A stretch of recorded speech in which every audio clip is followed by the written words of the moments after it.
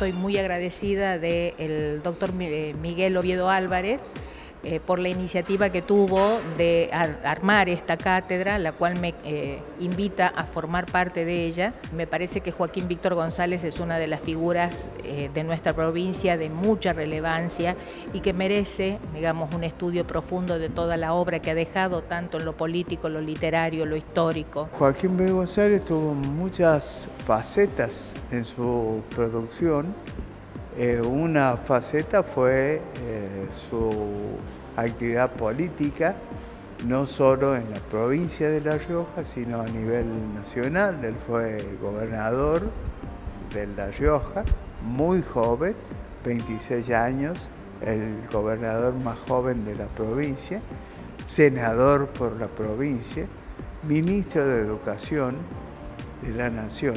Su labor pedagógica, lo más eh, sobresaliente, fue la creación de la Universidad Nacional de La Plata. El trabajo que voy a realizar con la dirección del profesor doctor Miguel Oviedo Álvarez eh, está vinculado con la difusión de la obra de mm, el ilustre riojano Joaquín Víctor González, este, al cual yo le denomino el polifacético, porque él desarrolló tareas en la escritura, que es lo que, a lo que me voy a abocar precisamente, en, la materia pedagógica, filosófica, literaria, historiográfica, ensayística, en fin. Y la idea sería, eh, digamos, eh, rescatar algunas obras centrales de él, como son, por ejemplo, y hacerlas conocer, ¿no? Como son, por ejemplo, la tradición nacional. Todo eso lo vamos a abordar, por supuesto, desde el año que viene.